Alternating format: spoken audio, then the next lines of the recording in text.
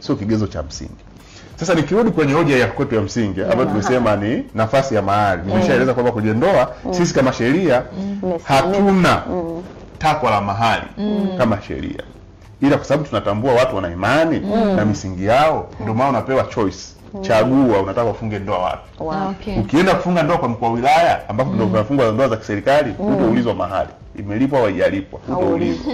Sawa, utaulizwa tu haya ya msingi yamezingatiwa, mm. mnakaa pale mnakula kiapo, mm. ndoa imeisha. mm. Sijui tunaelewana eh? Mm. Ehe. Sasa ukichagua mimi nataka niende msikitini, huwezi ukataka mkaa ukaogopa kuchafuka. Yaani Utaka mkaa ukubali na kuchafuka. Kwa kama nataka ya msikitini, lazima nifuate pia utaratibu wa nini? Wa kidini, sawa. Dini nasemaje? Kama nataka ya Wakristo, sawa, nitaulizwa kule unaendaga jumuiya, sawa, umeshapata sakramenti ya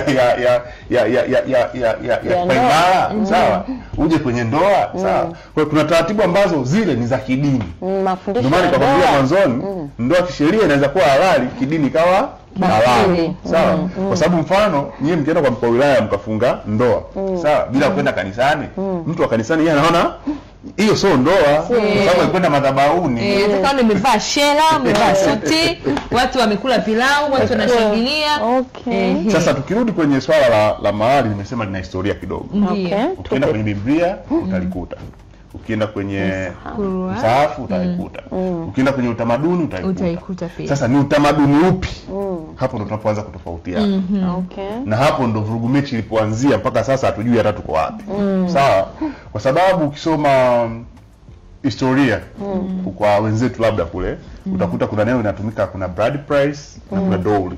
yeah. Sawa, Dowry. mm. ilikuwa inatolewa na mwanamke mm. kwa familia ya wanaume. Okay. Bride price mm. inatolewa kwa mwanaume kwenda kwa mwanamke. mwanamke. Na sasa hapo ndo swala la utamaduni linapokuja. mm. Ukienda mfano India, anayetoa mahali ni mwanamke, mm. sawa, mm. na anaitoa wapi? Kwa familia ya mwanaume. mm. Ukienda hapa pwani, sawa, mm. anayetoa mahali mm. ni mwanaume, Mwanaume. anaitoa ujombani yeah. kwa mwanamke. si unaelewa? eh? Naelewa. Ukienda kwenye dini sawa, huku kwingine kote tunakoongelea mm. wazee wanakaa pale mm. wanaamua tuletee hiki tuletee hiki. mm. Ukienda kwenye dini mfano ya Waislamu binti anakaa tunasema pale, mimi naolewa kwa Mm, Anachagua yeye. anachagua fulani? Ehe.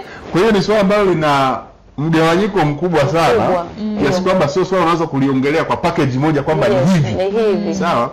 Lakini lazima urudi kwenye mtu mmoja alisema kitu kimoja. Mm. ukiiga utamaduni wa mtu uige mzima mzima. Ah, Okay. ili usije ukapoteza maana. Sisi tunacho kinachotuchanganya sasa hivi mm. tumechanganya mambo. Okay. yaani umechukua usukuma ukachanganya na. London na Umarekani na alafu yaani sasa tunakuta tunaelea hatujui Na ndio maana imefikia hatua sasa mm. ili swala la mahali limekuja kuzua shida. Mm. sawa? Mm. kwa sababu lengo la mahali zamani ilikuwa ni shukrani tu ni gratitude. Yeah. ni Yeah. appreciation. Appreciation. tunashukuru sawa? kwa kumlea. Hatuwezi yayo. hatuwezi kumnunua mm. lakini angalau sawa? Hiki kidogo asante.